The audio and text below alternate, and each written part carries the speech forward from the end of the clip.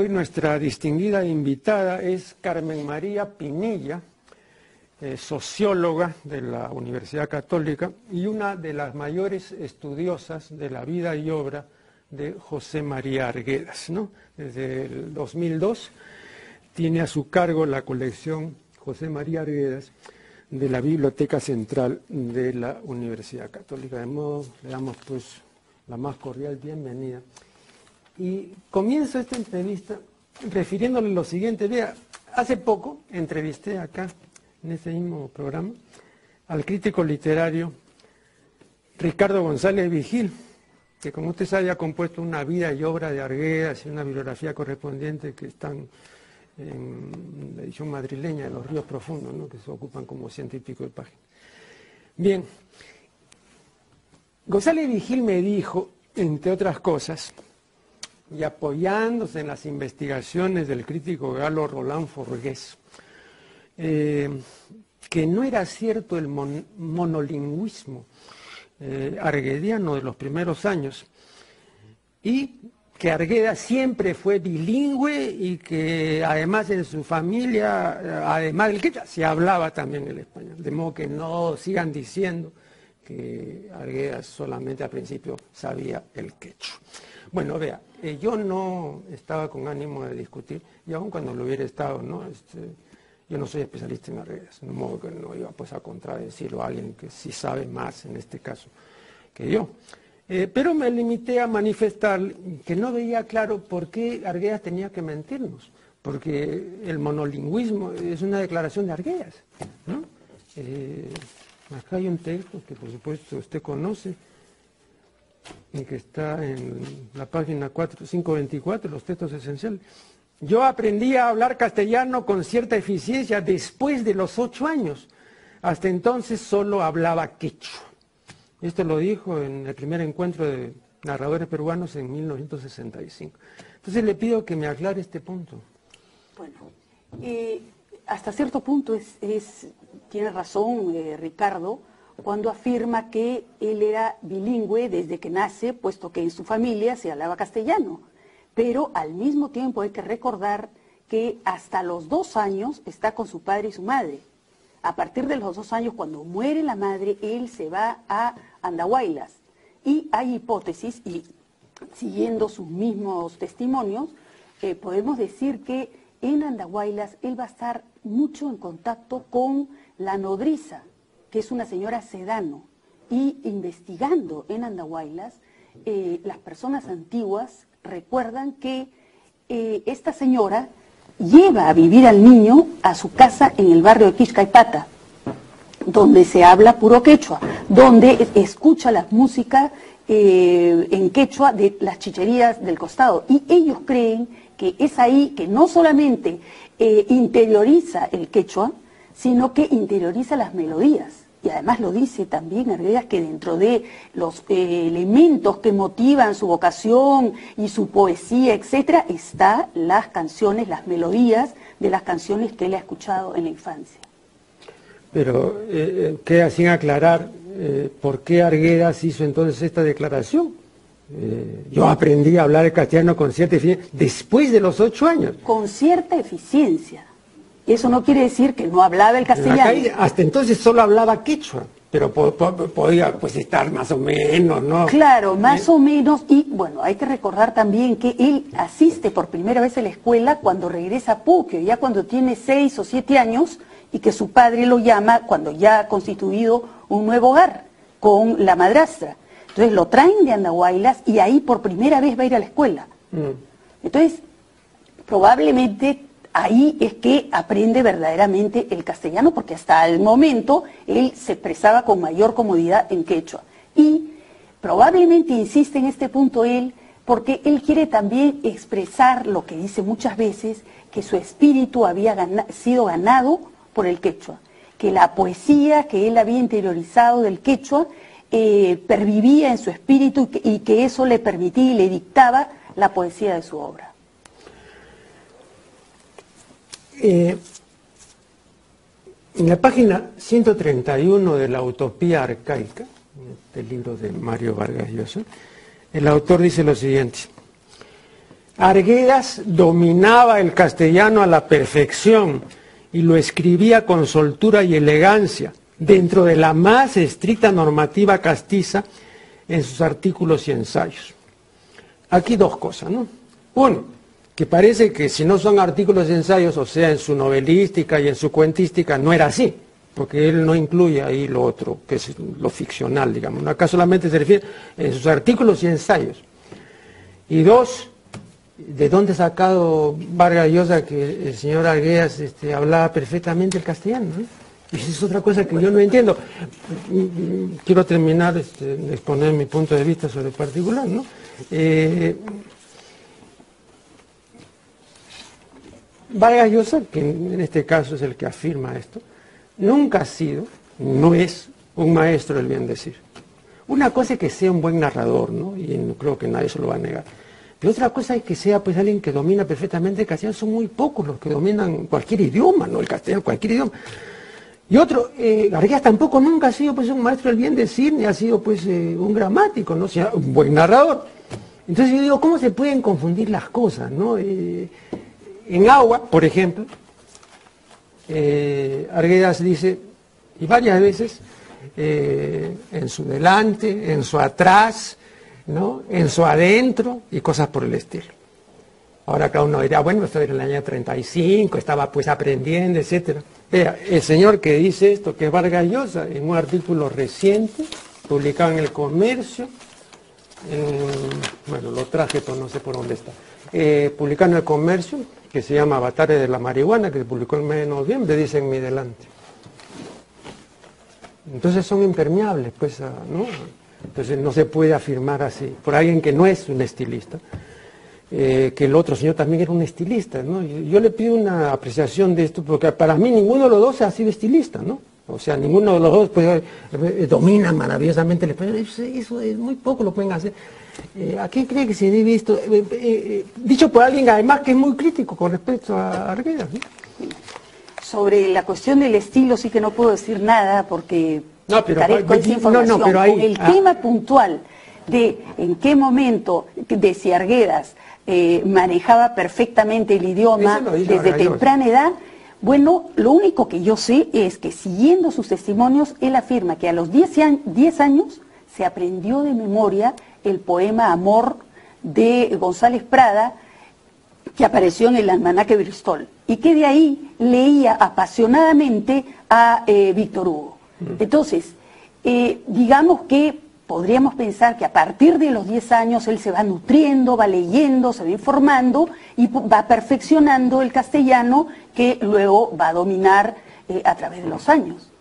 Eh, hay una cosa bien interesante. Cuando él está estudiando Santa Isabel de Huancayo, tiene un problema grave con el profesor de castellano, que era un señor Tello Devoto porque le hace una serie de correcciones y él porfía que su expresión era correcta. Mm. Incluso hay la amenaza de votarlo al colegio. Y este, entonces, desde ese momento, yo pienso que ya eh, José María Arguedas tenía un interés en la expresión correcta del idioma. Se preocupaba por eh, expresarse correctamente. Vargas Llosa, refiriéndose al libro Agua, dice, usando, usando un adjetivo que, está mal usado en este caso porque es un adjetivo que se usa en culinaria, ¿no? para los asados sobre todo. Dice que el libro está mechado de quechuismos. Eh, bueno, efectivamente, pues hay una cantidad de quechuismos que, digamos, dificultan la lectura y cortan el ritmo, etc. Una persona que conoce muy bien el idioma y todo Frente a esto solamente hay dos explicaciones. O es que no se podía decir en castellano eso que se dice en quechua, o es que él tampoco podía decirlo bien completamente en castellano. ¿Cuál es el punto Yo creo que es lo primero, que él está, como explicó Ricardo aquí en su programa, él está tratando de forzar el castellano para expresar lo que se dice en quechua, pero no solamente expresar las palabras, sino los sentimientos, los énfasis. Y entonces al, inicio él eh, como que traduce hasta que encuentra esto que explicó tan bien Ricardo, que es el idioma, los sutiles desordenamientos del idioma, lo llama el propio Arguedas, que eh, comienza a trabajar el gerundio, los diminutivos, etcétera, hasta que logra con los ríos profundos, en 1958, el idioma que cree que expresa verdaderamente la comunicación dentro del mundo quechua. O sea, digamos que lo habría logrado después de veintitantos años. Sí, señor, de un trabajo, de un trabajo persistente sobre el idioma, lo dice él. Bien. Eh, ahora, hay aquí un punto que usted cita en esta selección de los textos esenciales, y es que la producción literaria, estrictamente literaria de Arguedas, alcanza el 12%, ¿no? Sí. Eh, y Arguedas es conocido por ese 12% y no por el, eh, la producción inmensa que es de, otro orden. Eso es tremendo, pues es una deuda tremenda y felizmente que ahora el presidente de la Comisión Centenario Arguedas, Juan Ocio, está haciendo denodados esfuerzos para que se publique siete tomos de la obra antropológica que ya está lista. La ha trabajado hace muchos años Humberto Damonte con, con Sibila Redondo, todo un equipo que ha ubicado estos este, tan eh, cantidad de textos importantísimos para el Perú, porque la obra antropológica de Arguedas es tan o más importante que la obra literaria, por estas visiones que hay del Perú, estos eh, intentos de solucionar los problemas trascendentales de nuestra sociedad. Vamos a hacer aquí eh, el primer alto en el camino y ya retornaremos. Dialogando con Carmen María Pinilla, bueno, nos hayamos quedado eh, considerando el hecho de que la producción literaria de Arrias es, muy, muy escasa ¿no? y escasamente conocida. Eh, ¿Qué se puede hacer para que sea más conocida? La literaria no es escasamente conocida, la antropológica. Ah, perdón, perdón, exacto. No, pero la literaria también. Bueno, también, sí, señor, sí, podría difundirse muchísimo más. Tendría que leerse obligatoriamente, pienso yo, en las escuelas. Eh, ¿Obligatoriamente? Nosotros hicimos una, en el 2004 un concurso que se llamó Arguedas y mi mundo. Decidimos ir a los colegios eh, y dirigirnos a los alumnos de cuarto y quinto y medio de los colegios nacionales que estuviesen ubicados en aquellas ciudades donde vivió Arguedas, pensando que este hecho los iba a incentivar, los iba a motivar eh, para leer la obra. Y fuimos, hicimos visitas eh, durante el verano, hablamos con los profesores, cuando digo fuimos es un grupo de la Universidad Católica, hablamos con los profesores, llevamos los textos, pedimos que leyeran y que al final escribieran un pequeño ensayo sobre lo que les había suscitado estas lecturas. fue una maravilla. Todos se dieron cuenta de este afán de testimoniar eh, auténticamente sobre sus propios intereses, sobre su propio mundo, sin impostar, y resultaron unos trabajos excepcionales. Entonces yo pienso que en Arguedas hay muchísimo material para que eh, los jóvenes lean y se nutran. Por eso es que hay que difundir más la obra literaria y también la obra antropológica, por supuesto. Pero que en cuantía excede largamente a la literaria, ¿no? Sí, es abrumadora. Él escribía, iba a un congreso, no solamente tenía la ponencia que luego publicaba, sino que regresaba, por ejemplo, y daba cuenta de qué cosa había sucedido, quiénes estaban, cómo se, cuáles eran las, eh, digamos, las preconcepciones que él tenía al llegar a este lugar y qué cosa fue lo que encontró, de qué manera había cambiado. Y al día siguiente escribía otras cosas. Y las cartas, mm. continuamente. Em, usted en más de una ocasión se ha referido, no sé exactamente con qué extensión, ¿no? pero sí se ha referido a la relación que tuvo Arguedas con el doctor Valcárcel Luis Eduardo Valcárcel. Eh, yo, a diferente propósito, estos últimos días estuve releyendo Tempestad en los Andes, un libro que, como usted sabe muy bien, se publicó en 1927. Yo lo conocí por primera vez y lo leí también ese año en 1963, porque en 1963 se publicó la segunda edición, lo hizo Manuel Escorza, ¿no? en Populibros. Eh, la obra tiene un prólogo de José Carlos Mariátegui y un colofón del doctor Sánchez. Bueno, eh, le pido dos cosas, ¿no? Una que me diga hasta qué punto fue entrañable o superficial esta relación que tuvo Arguedas con Valcárcel. Y luego, eh, si influyó en algo Tempestad en los Andes en las concepciones de Arguedas, porque veo yo, al menos desde mi punto de vista, que no creo que haya influido, porque yo a Valcárcel lo veo mucho más radical que Arguedas, ¿no? Arguedas es tímido junto a Valcárcel, ¿no? Basta ver, eh, a mí mis padres me contaban que Eh, en su época, este libro de Tempestad eh, realmente alborotó el cotarro y se considera medio subversivo, ¿no? Sí, fue una tempestad, verdaderamente. era una cosa que ya vienen los indios, van a barrer y todo. Nunca se ha tenido esa impresión leyendo textos de Arguedas, ¿no? Entonces nunca ha sido un peligro, ¿no? Este, aunque Kafka decía que la verdadera palabra siempre es peligrosa, pero yo no he sentido ese peligro. Entonces por eso le digo esta relación de Arguedas con Valcárcel. Bueno, es una relación, eh, me parece que eh, tiene usted razón, eh, digamos que la posición frente al indio de Arguedas es mucho menos radical, para nada radical si la comparamos con la de Valcárcel, ¿no? Porque eh, eh, justamente Arguedas se va a referir a este radicalismo de Valcárcel y va, él va a decir que, no señor, que él opta por el mestizaje, él defiende el mestizaje y que es falso esto que dice Valcárcel de que lo mestizo hay que despreciarlo porque está mezclado con lo occidental, etcétera. Entonces, eh, por un lado, pero me parece que enfrentarse a esa posición de Valcárcel sí es algo que se da en Arguedas y que de alguna manera está influyendo en él. Y luego sigue influyendo Valcárcel en el sentido de que Arguedas va a trabajar a su lado. Y eh, Valcárcel es el gran animador del instituto donde va a trabajar durante 10 años Arguedas en el museo, el Instituto de Enología del Museo él está en constante relación con Valcárcel y Valcárcel es una figura importante dentro de San Marcos. Hay unas cartas de Arguedas a Murra en, las que llama a Valcárcel la sombra, porque está en todos lados, eh, dirigiendo, eh, animando publicaciones, eh, congresos, etcétera.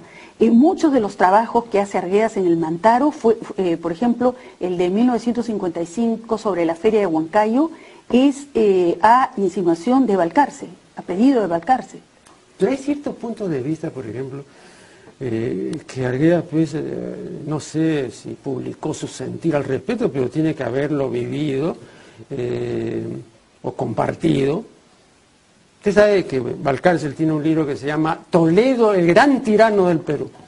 Yo no creo que Arguedas haya considerado que Toledo no era el gran tirano del Perú y, y, le dice que era un miserable, ¿no? Eh, es completamente tajante, ¿no? ¿Cuál es la actitud de Argueda, por ejemplo, frente a, un tipo como Toledo, ¿no? ¿A quién se está refiriendo? Al, eh, al virrey. Bueno, y a mí me parece que en absoluto... Eh, estoy diciendo lo que pensaba Balcácer, tiene un libro al respecto. Ya, Arguedas va a viajar a España hace un estudio comparativo sobre las comunidades de España y el Perú, porque él cree que en la legislación de Toledo hay pautas que le hacen pensar que el origen de las comunidades andinas está en el modelo de las comunidades de Castilla, que se implanta acá como imitación, digamos. Y entonces él va, se gana una beca en la UNESCO y se va a España. Elige la región de eh, Castilla porque lee a un autor muy importante que se llama Joaquín Costa, que habla, es autor del derecho consuetudinario, y habla de eh, las características de estas comunidades muy alejadas y hasta cierto punto, digamos, atrasadas, entre comillas, de España. Y se entusiasma precisamente Arguedas para ir a estudiar esta legislación, esto que se ha formado en el Perú comparando con lo que existe en España. En ningún momento tiene eh, frases negativas para juzgar eh, cómo se implanta esto en el Perú. En ningún momento. Yo no, conozco ningún texto de Arguedas en que hable mal de Toledo, no lo creo.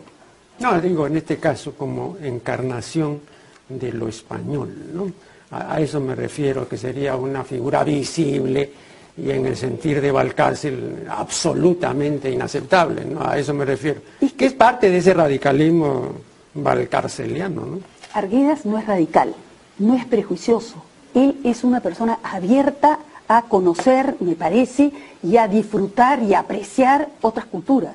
Esto lo demuestra cuando va a España, pero no solo a España, cuando va a, Francia, cuando va a Alemania, cuando va a Estados Unidos, donde había una serie de prejuicios en su contra, eh, en contra de apreciar a este país, él descubre eh, admirado, por ejemplo, la poesía de Whitman, descubre admirado la ciudad de Nueva York y escribe artículos al respecto.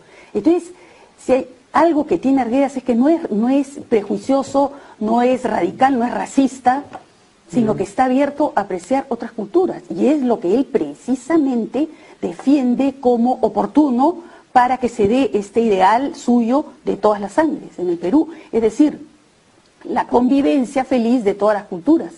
Como él dice en, cuando recibe el premio Garcilaso, yo soy un demonio feliz que hablo en castellano y en quechua. Eso es lo que él busca como ideal para el país, que es nada menos que el ideal de destacados multiculturalistas que se preocupan, dado los problemas eh, multiculturales en Europa y en otros países, en otras eh, regiones, que esto pueda suceder en el Perú, para evitar la eh, globalización, la homogenización de las culturas con la globalización.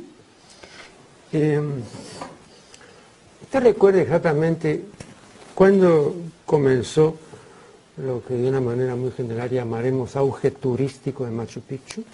Yo recuerdo, usted me corregirá o no, yo recuerdo que ese auge es eh, más o menos coincidente, y esto lo conversé en su debido momento con el doctor Fernando Silva Santisteban, pero yo le preguntaba, doctor Silva Santisteban, acaso le preguntaba, ¿cuándo se comenzó a hablar aquello de que no hay razas superiores ni inferiores, y de que el indio es igual que cualquier otro ser humano y no tiene que ser un, elemento negativo, etc. ¿no? Y me dijo, vea, Neri, eso es muy moderno. Eso de ahí se comenzó a decir aquí en la década de 1960. Yo en Cajamarca. Y recuerdo eso, mi juventud yo veía que los indios iban por este, la pista, lo que llamaremos la pista, y nunca pisaban la vereda. Nadie se lo había prohibido. Eh, eh, ese era el sentir indio en, mi juventud. Fernando era del año 28, me parece. En el año 38, 40, veía así. En el año 60 para adelante ya surgió una concepción nueva, o por lo menos comenzaron a discutirse estas cosas. Y lo mismo entonces comenzó a hablarse de Machu, Picchu, y comenzó a mencionarse a Benjamin y todo lo demás. Eh, usted como estudioso de Arguedas, este, Arguedas tenía uh, una idea clara, definida de quién era Bingham, porque ahora lo hemos sabido, eh, muchos años después, ¿no? Pero bueno, ya, ¿no? Eh, incluso se le atribuye, me parece injustamente haber descubierto, tampoco eso no es cierto. ¿Arguedas sabía todo eso? Y no sé si todo eso, no sé si lo que se ha descubierto que no es cierto, lo que se le atribuye, etcétera, pero sí hace una pequeña referencia en tres artículos que dedica al Cusco. Eso es todo. Habla más que de Machu Picchu, habla del Cusco. el impacto eh, de Arguedas es por el Cusco. Y lo que él destaca es la ciudad del Cusco. Y, bueno, son unos artículos maravillosos que Raúl Porras, este artículo de Arguedas, lo eh, incluyó en una antología sobre el Cusco. Muy interesante. Vamos a hacer acá un nuevo corte y ya retornaremos. Carmen María Pinilla acerca de la vida y obra de Arguedas. Em, en una publicación reciente,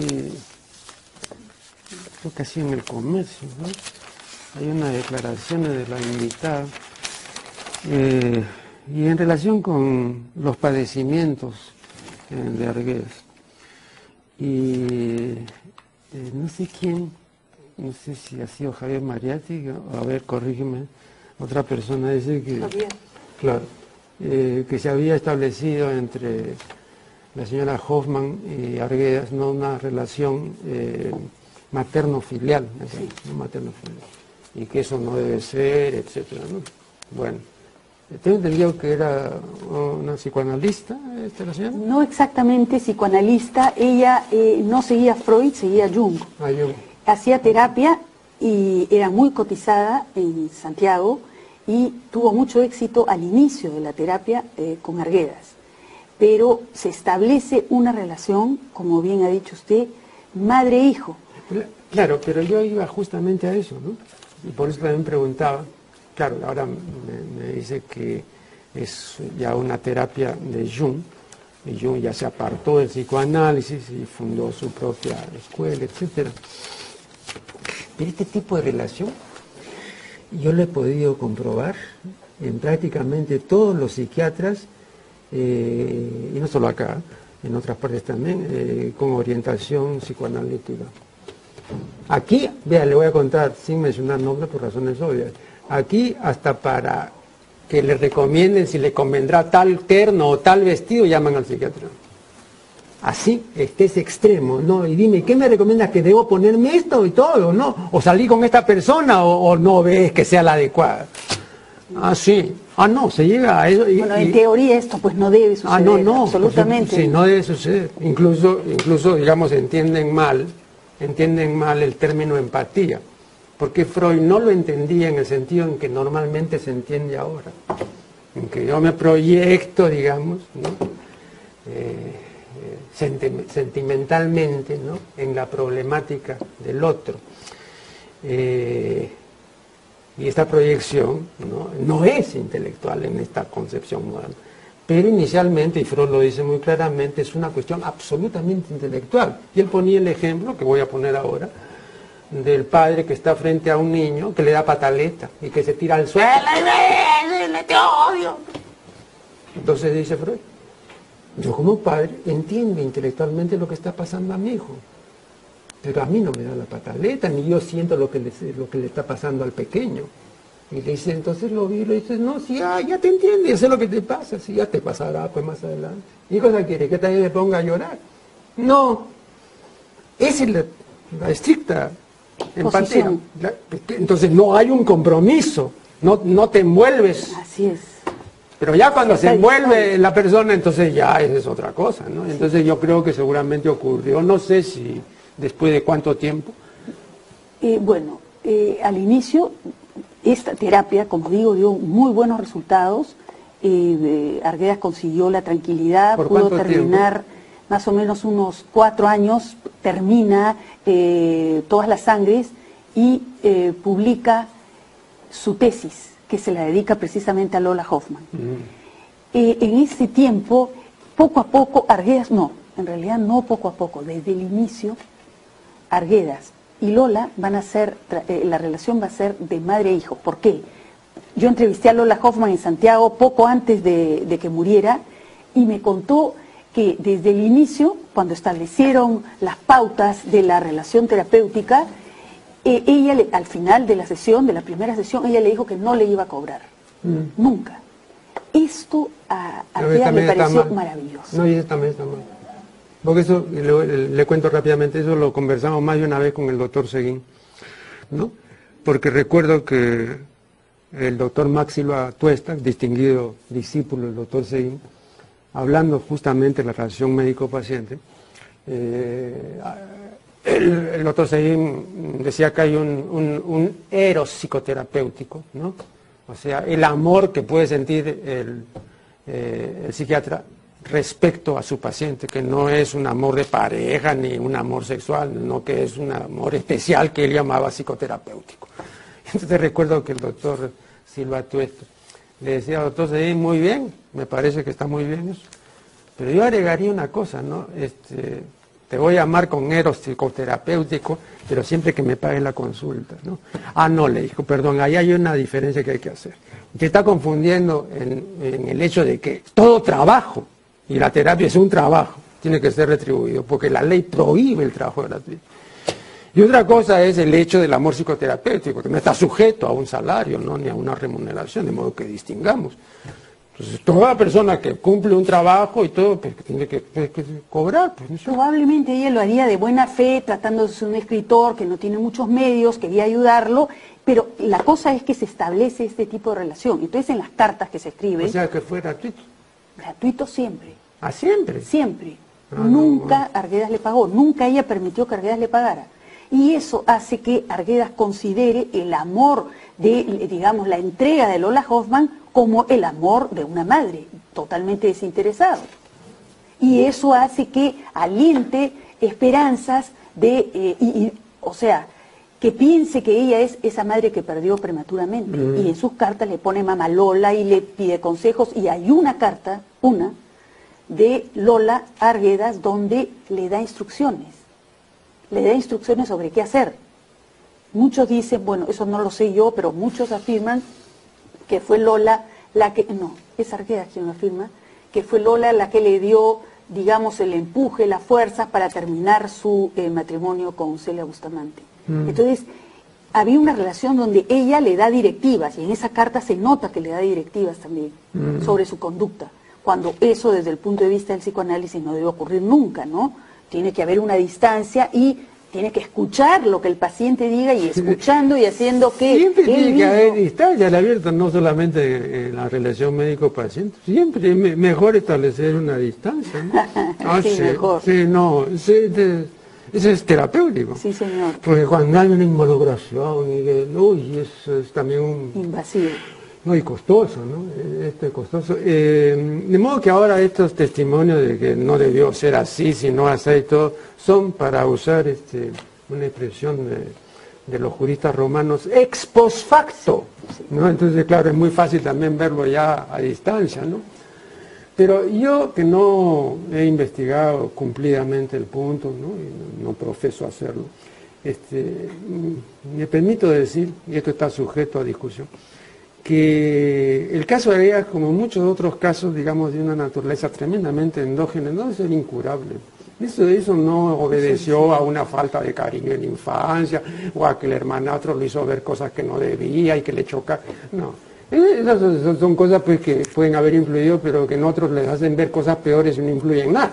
O sea que hay una cuestión inherente en la naturaleza de la persona que la hace muy susceptible, muy vulnerable, muy chocable y se va a chocar de todas maneras. O sea, esto de acá, cuando se cuenta, vivió esta situación, conoció a esta otra persona, etc.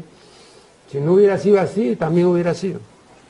Bueno, yo creo que hay todos estos factores que intervinieron, porque hay esto que usted dice que eh, se pudo tratar, y de hecho esa fue la postura de Javier Mareategui, cuando yo lo entrevisté, él me contó que a los pocos días de muerto Arguedas hubo un congreso de psiquiatría eh, en el Perú y que se comentaba el caso de Arguedas y que un distinguido psiquiatra dijo, ¿cómo se les ha pasado este caso? ¿Por qué no lo han tratado? Me parece que era con litio, que ya existía en ese momento. ¿Cómo no, lo han, no le han dado tal medicamento?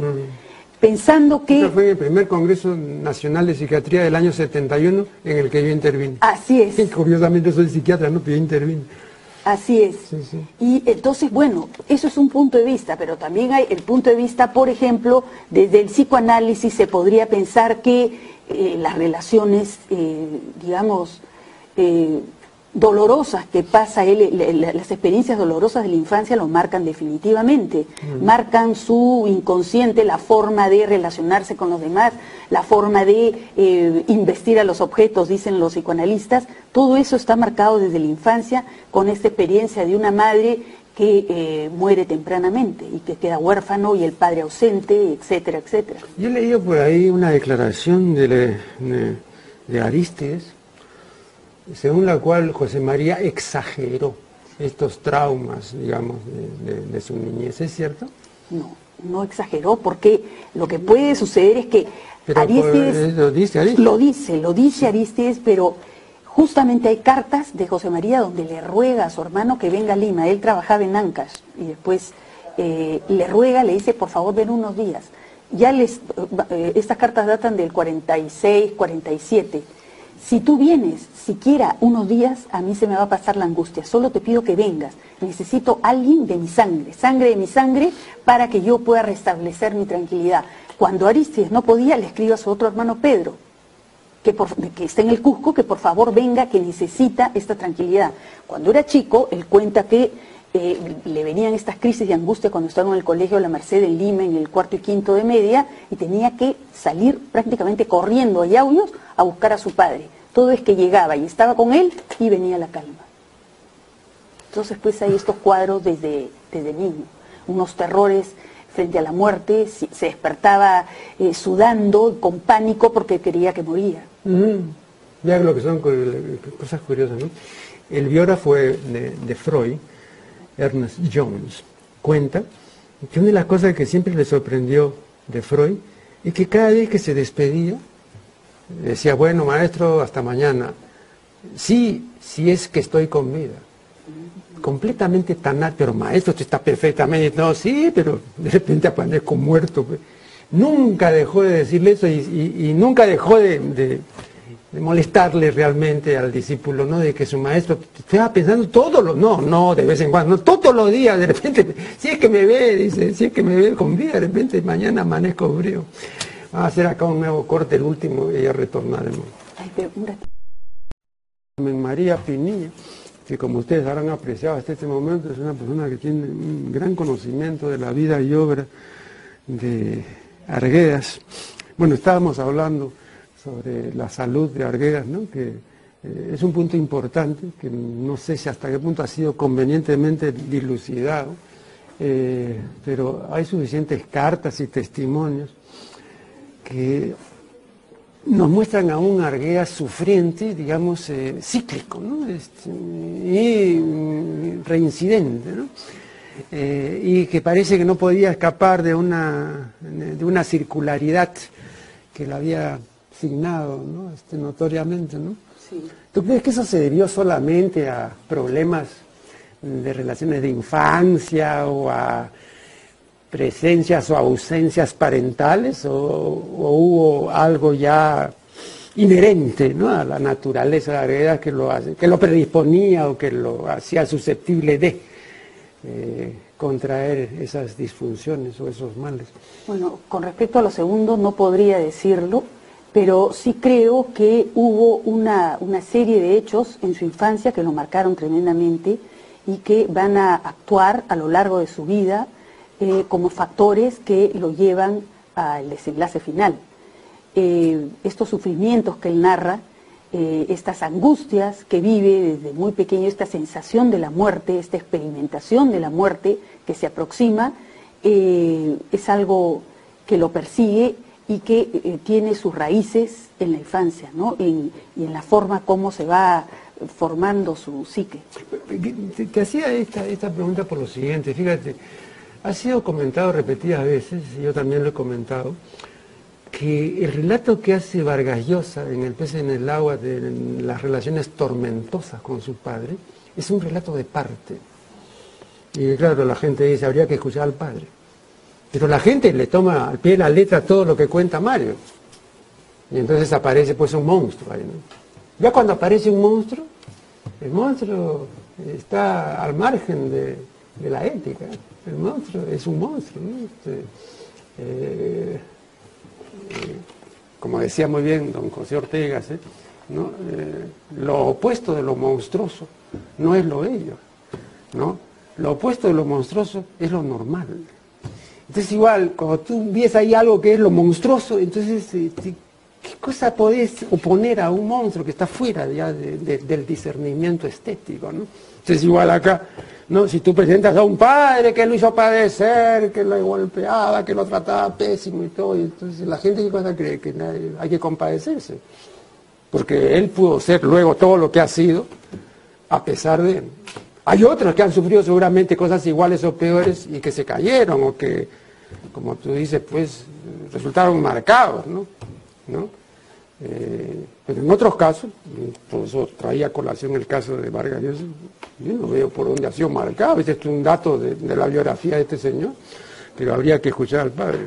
Entonces igual acá, ¿no? Digamos, cuando uno solamente ve los testimonios de parte, y habría que ver, pues yo mencionaba de pasar lo que dice pues Ariste, ¿no? Yo creo que por ahí ha habido un poco exageración, ¿no?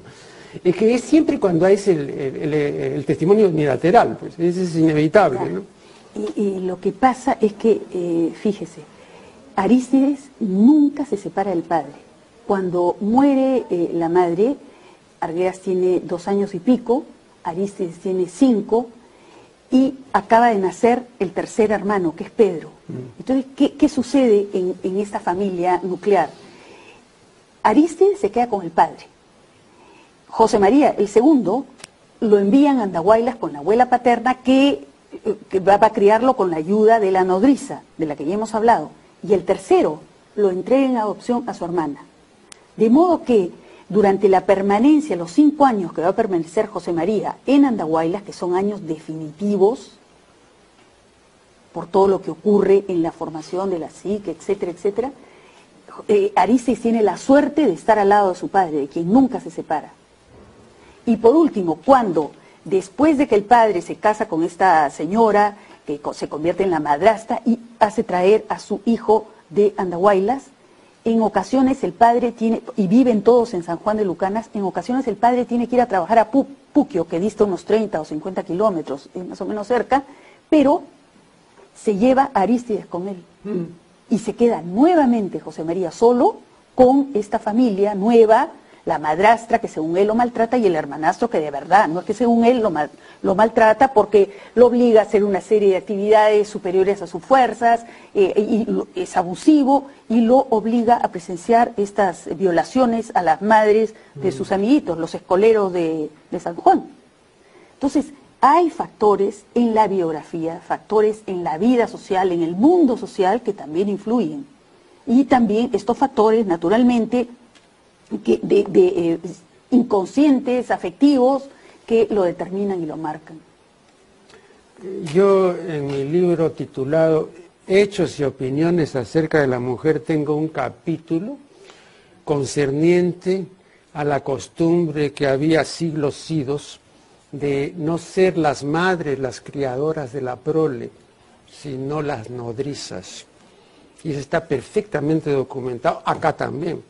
De modo que cuando se dice, no lo creó la madre o no estuvo en el hogar donde estaban la madre y el padre, pero antes era una costumbre así, o sea que podría mencionar muchos otros grandes casos de gente que no era, incluso Montaigne, por ejemplo, dice, no, a mí mi padre me mandó desde que era una criatura a una aldea para que una de mis tías me criara. Y no me crió mi mamá felizmente. Dice, Dios mío, imagínate lo que había pasado.